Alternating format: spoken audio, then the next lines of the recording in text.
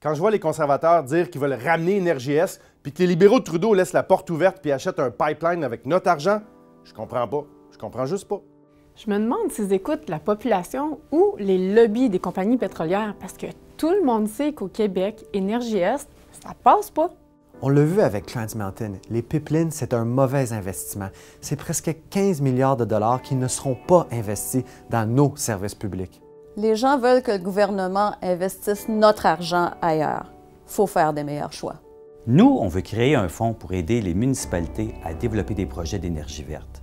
On veut aussi investir pour faire du Québec un leader mondial dans l'électrification des transports. C'est pas compliqué. Selon Équiterre, chaque dollar investi dans les énergies vertes crée 6 à 8 fois plus d'emplois que s'il est investi dans les énergies fossiles. Les 40 députés libéraux du Québec font rien pour protéger notre environnement. Comme les conservateurs, en fait, ils sont d'abord là pour protéger les amis du secteur pétrolier. Nous autres, au NPD, on n'a pas oublié d'où on vient. On écoute notre monde, on dit non à NRGS, puis oui à une vraie transition énergétique.